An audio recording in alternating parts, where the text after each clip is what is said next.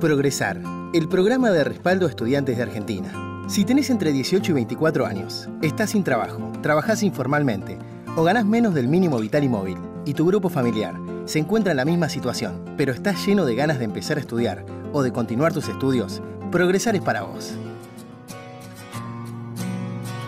En el rectorado de la UNER se realizó la presentación del programa Progresar,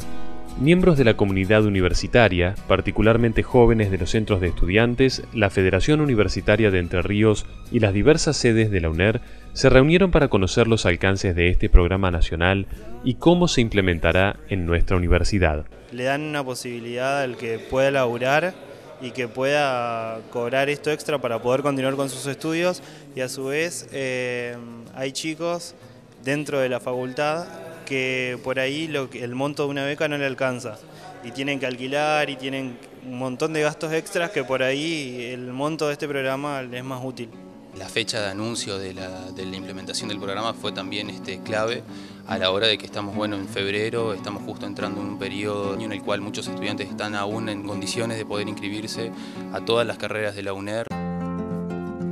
Son 600 pesos mensuales para que inviertas en tu educación, certificando tu condición de alumno regular y realizándote controles de salud. Y va a contribuir a sacar el trabajo en negro, digamos. Ahora, o ayudar a aquellos estudiantes que trabajan en negro y que no pueden llegar a, estudiar con los recursos, digamos, suficientes. Después nosotros aparte tenemos varias becas de investigación, de extensión y un etcétera, digamos, que también acompañan el día de hoy es muy difícil que alguien nos diga que no puede ingresar a la universidad. Puede tener un costo mayoritario si uno se tiene que trasladar de un pueblo muy lejano hacia la ciudad, como Paraná, tiene costos de alquiler, pero el día de hoy hay mucho abanico y hay posibilidades. Conocemos realidad de estudiantes que hubieran pensado en su vida que podían acceder a la universidad y el día de hoy están recibidos, tienen su diploma de la universidad pública y eso no es menor.